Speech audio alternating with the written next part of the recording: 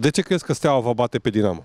Pentru că suntem uh, mai buni și cu suportii, suporterii alături de noi vom câștiga acest meci. Ai marcat în tur pe Național Arena. Ce ai simțit în momentul în care ai văzut mingea în plasa?